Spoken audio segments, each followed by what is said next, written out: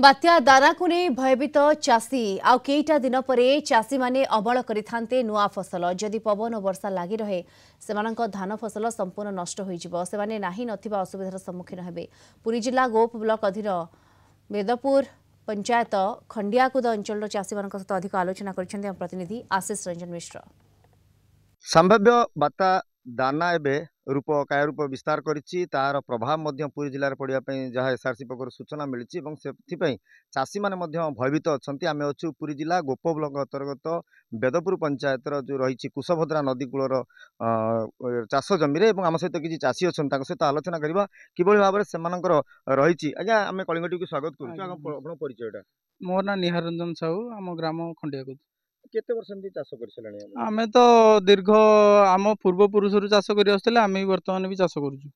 କଣ କଣ ଚାଷ କରନ୍ତି ସବୁ? ଆଜ୍ଞା କଲରା କଖାରୁ ବାଇଗଣ ଟ- କୋବି ଟମାଟୋ ସବୁ କିଛି ଚାଷ ହୁଏ ଏଠି। ଏ- ଏମିତି ଚାଷ ସମୟରେ ଅନେକ ସମୟରେ ବାତ୍ୟା ଆସିଛି। ଆଜ୍ଞା ଏ ବାତ୍ୟା ତ ଆମର ଦେହସୁଆ ହେଇଗଲାଣି। ବାତ୍ୟାର ଆତଙ୍କ ଅ, ସଦାବେଳେ ବର୍ଷ ସାରା ପ୍ରତି ବର୍ଷ ହିଁ ଆସୁଛି। ବାତ୍ୟା ବାତ୍ୟାକୁ ଆମେ ଡରିନୁ।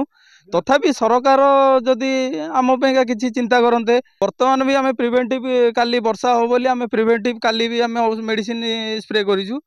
ହେଲେ ପ୍ରିଭେଣ୍ଟିଭରେ ଆମେ ଲାଗୁନି ଯେଉଁ ବର୍ଷା ବର୍ତ୍ତମାନ ଯେଉଁ ଚାଲିଛି ନ୍ୟୁଜ୍ ଚାଲିଛି କି ବର୍ଷା ହବ ଏତେ ଜୋରେ ବର୍ଷା ହେଲେ ବି ଆମେ ଯେତେ ପ୍ରିଭେଣ୍ଟିଭ୍ ନେଲେ ବି ଆମେ ଜାଣିଛୁ ବଞ୍ଚିବନି ଗଛ। ହଣ୍ଡ୍ରେଡ୍ ପରସେଣ୍ଟରୁ ସିକ୍ସଟି ପରସେଣ୍ଟ ସେଭେଣ୍ଟି ପରସେଣ୍ଟ ତ ମରିଯିବ ନିଶ୍ଚିନ୍ତ ଭାବରେ ସରକାରଙ୍କ ପାଖରେ କଣ ଦାବି ରଖିଛନ୍ତି? ସରକାର ପାଖରେ ଦାବି ରଖିବୁ କି ଆମକୁ ଯଦି କିଛି ସାହାଯ୍ୟ ପ୍ରୋତ୍ସାହନ କରିବେ ଆମର ଯେଉଁ କ୍ଷତିପୂରଣ ହେଲା କ୍ଷତିପୂରଣ ଦେବେ ତାହେଲେ ଯାଇକି ଆମେ ବଞ୍ଚିବୁ କିନ୍ତୁ ଏଇ ଯୋଉ ଗଛ ମଧ୍ୟ ଏଇ ଯୋଉ ସମ୍ଭାବ୍ୟ ବାତ୍ୟା ସମୟରେ ଯୋଉ କିଛି ସମୟ ବର୍ଷା ହେଇଛି ସେ ବର୍ଷାରେ ମଧ୍ୟ ଗଛ ନଷ୍ଟ ହେବା ଆରମ୍ଭ ହେଲାଣି ଏ, ଗଛ ଝାଉଁଳିବା ଆରମ୍ଭ ହେଲାଣି ତା ନେଇ ମଧ୍ୟ ଯଦି ଆଗକୁ ଅଧିକ ବର୍ଷା ହୁଏ ତାହା ମଧ୍ୟ କିଭଳି ପ୍ରଭାବ ପଡ଼ିବ? ଆଜ୍ଞା ଆପଣଙ୍କୁ ଅ, ସ୍ୱାଗତ କରୁଛି କଳିଙ୍ଗ ଟିଭି କି କଣ କହିବେ ଆପଣ ଆଗରୁ ବାତ୍ୟା ହେଇଛି ସାହାଯ୍ୟ ଆମକୁ ମିଳେନି। ସାହାଯ୍ୟ ଯିଏ ଚାଷ ନ କରିଛି ତାକୁ ମିଳିଛି। କିନ୍ତୁ ଆମେ ଚାଷ କରୁଛୁ ଆମକୁ ମିଳୁନି। ସରକାରୀ ଅଫିସର ଆସିବେ ସିଏ ତାଙ୍କର ହାତ ଭାତ କରିକି ନେବେ। କିନ୍ତୁ ଚାଷୀ ପାଇବନି। ଆମେ କେବେ ବି ପାଇବୁନି। ଆ- ଯିଏ ଚାଷ ନ କରିଛି ସିଏ ଦଶ ହଜାର ପାଇବ। ଆମେ ଚାଷ କରିକି ଆମେ ଖର୍ଚ୍ଚ କରିକି ଆମେ ହଜାରେ ପାଇବୁ। ଏମିତି। ଏବେ ଆପଣ କଣ ଚାହୁଁଛନ୍ତି? ଆମେ ଏବେ ଚାହୁଁଛୁ ଆମେ ତ ଚାଷ ବର୍ତ୍ତମାନ ଫଳମୁଖ ବର୍ତ୍ତମାନ ଉଁ, ପନିପରିବା ରେଟ୍ ବି ଅଧିକା ଅଛି। ଧାନ ବାହାରି ଗଲାଣି କ୍ଷୀର ନେଉଛି। ଏଇନା ବାତ୍ୟା ଦାନା ଯେତେବେଳେ ଆସିବ ସେ ଭାଙ୍ଗି ସବୁ ଧାନ କଣ୍ଠା କରିଦେବ। କିଛି ଧାନ ରହିବନି ନା ଫସଲ ରହିବ ଏପଟେ ପନିପରିବା କିଛି ରହିବନି?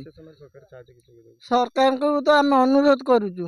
ଆମେ ନୂଆ ସରକାରକୁ ଅନୁରୋଧ କରୁଛୁ।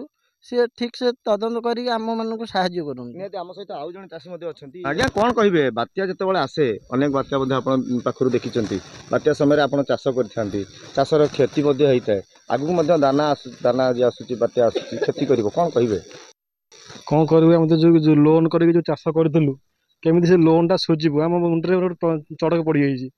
ଏ ଧାନ ଯେଉଁ ଏବେ ଫୁଲ ଉଡ଼ଉଛି ଏଇଠି ଯେଉଁ ପବନ ହେବ ଶହେ କୋଡ଼ିଏ କିଲୋମିଟର ପବନ ହେବ କହୁଛି ନ୍ୟୁଜ୍ରେ କହୁଛି ପବନ ହେବ ଶହେ କୋଡ଼ିଏ କିଲୋ ପବନ ହେବ। ପବନ ସବୁ ତ ବାଡ଼େଇକି ଅଗାଡ଼ି କରିଦେବ। ଆମେ କେମିତି କ'ଣ କରିବୁ ମାନେ ସେ ଚିନ୍ତାରେ ଆମେ ରହିଯାଇଛୁ ଦେଖନ୍ତୁ କିଭଳି ଭାବରେ ବର୍ତ୍ତମାନ ସାମାନ୍ୟ ବର୍ଷାରେ ନଷ୍ଟ ହେଇଛି କିନ୍ତୁ ଯେତେବେଳେ ଦାନା ଆସୁଛି ବା ଦାନାର ଯେଉଁ ପ୍ରଭାବ ପଡ଼ିବ ତାହା ମଧ୍ୟ ପ୍ରବଳରୁ ପ୍ରବଳ ବର୍ଷା ହେବ ପୁରୀ ଜିଲ୍ଲା ପାଇଁ ଯେଉଁ ଏସ୍ଆର୍ସିର ଯେଉଁ ସୂଚନା ରହିଛି ତେଣୁକରି ଯେତେବେଳେ ଏସବୁ ଘଟଣା ଘଟୁଛି ଯଦି ପାଖରୁ ମଧ୍ୟ ଅନେକ ବାତ୍ୟା ଦେଖିଛନ୍ତି ଅନେଶ୍ୱତ ଠାରୁ ଆରମ୍ଭ କରି ଦୁଇ ହଜାର ବାଇଶ ଭିତରେ ଅନେକ ବାତ୍ୟାକୁ ସେମାନେ ସାମ୍ନା କରିଛନ୍ତି ସେ ସମୟରେ ସରକାରୀ ସାହାଯ୍ୟ ସେମାନଙ୍କୁ ମିଳିନାହିଁ ବୋଲି ଯାହା ପ୍ରତିକ୍ରିୟାରେ କହୁଥିଲେ। ଯଦିଓ ନୂଆ ସରକାର ପରିବର୍ତ୍ତନ ହେଇଛନ୍ତି ଏ ସମୟରେ ଯଦି ବାତ୍ୟାର ପ୍ରଭାବ କିଛି ପଡ଼େ ସେମାନଙ୍କର କ୍ଷତି ହୁଏ ସେଗୁଡ଼ିକ ଆକଳନ କରାଯାଇ କିଭଳି ଭାବରେ ସରକାରୀ ସାହାଯ୍ୟ ଯୋଗାଇ ଦେବା ପାଇଁ ନିଶ୍ଚିନ୍ତ ରୂପେ ସେମାନେ ସରକାରଙ୍କୁ ଅନୁରୋଧ କରିଛନ୍ତି।